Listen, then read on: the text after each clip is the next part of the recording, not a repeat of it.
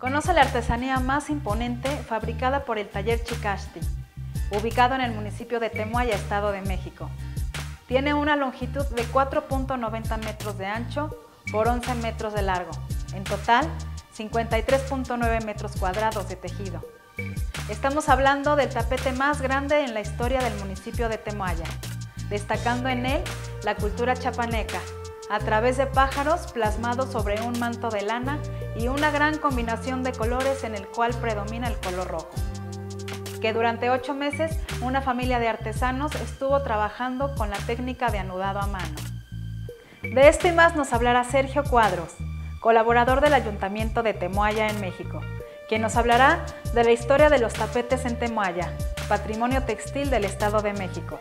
No te lo pierdas este jueves 3 de marzo en punto de las 19.30 horas, tiempo de España, 12.30 tiempo de México. Recuerda seguir nuestra emisión en vivo a través de nuestras redes sociales.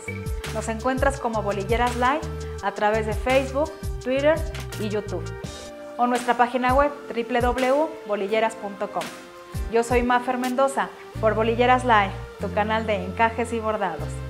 Este espacio está patrocinado por Alfileres Folk, Hilos y Agujas Carmen Espriu, Artesanías El Boy y Safis Espiral, empresa de cintería.